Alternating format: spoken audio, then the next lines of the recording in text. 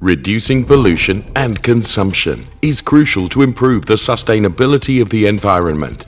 Gasoline direct injection technology reduces polluting emissions, reduces fuel consumption, and improves engine efficiency.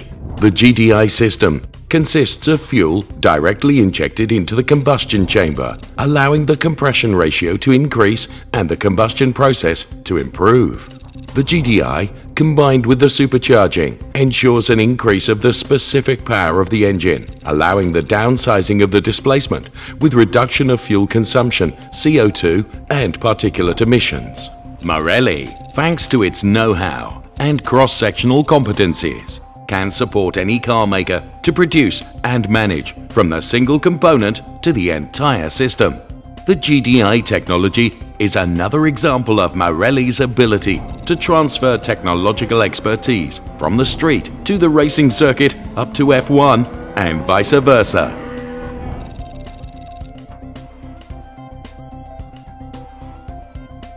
Marelli is the only component manufacturer able to realize a complete GDI system up to 1000 bar, composed of pump, fuel rail, injector and control unit.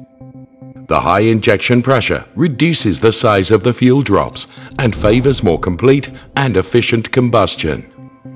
The injection pressure at 1000 bar enables consumption reduction by up to 25% compared to a standard GDI system. This means a decrease in CO2 and particulate emissions at the exhaust, resulting in a smaller size and weight of the gasoline particulate filter.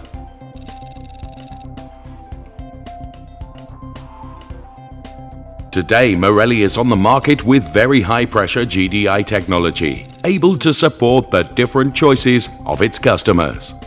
The Marelli 1000 bar GDI is a technological goal with the possibility to carry out up to 7 multi-injections in a short time range. It can create both homogeneous charge compression ignition and ultra-lean burn type combustions with top performance in terms of consumption, emissions and efficiency. The flexibility of the Marelli 1000 bar GDI system allows it to be applied to different types of engine, satisfying the diverse needs of customers.